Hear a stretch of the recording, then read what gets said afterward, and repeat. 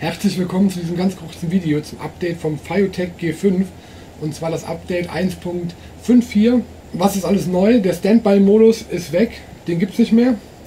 Hinzugekommen ist ein neuer Modus, den wir erreichen können, indem wir viermal die Taste drücken. 1, 2, 3, 4. Und dann hören wir auch direkt einen Signalton und jetzt sind wir in dem sogenannten manuellen Modus. Das heißt, beim Film können wir die Kamera einfach schnell verstellen und er hält immer genau diese Position.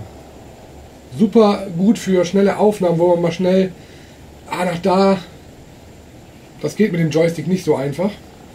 Die nächste Sache in dem Modus ist, wir können hier super Timelapse machen. Das heißt, wir stellen die Kamera auf unseren Startpunkt ein, drücken einmal kurz auf die Taste und suchen uns unseren Endpunkt.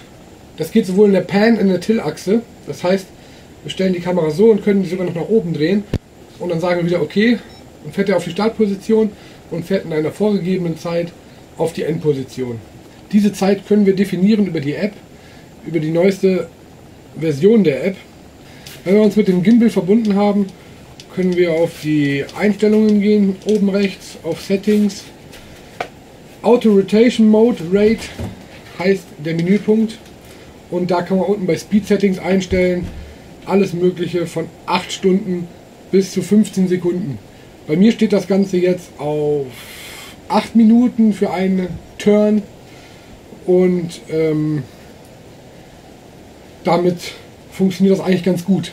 Was mir noch aufgefallen ist, im manuellen Modus, 1, 2, 3, 4, manuellen Modus, wenn ich die Kamera so festsetze und eine gewisse Zeit filme, driftet die mir weg. Das passiert mit den anderen Modien nicht. Ich habe hier mal ein Beispiel. Das ist jetzt gefilmt im manuellen Modus und danach habe ich auf einen anderen Mode umgeschaltet und dann sieht das Ganze so aus. Also irgendwie driftet die nach oben weg. Zumindest bei mir.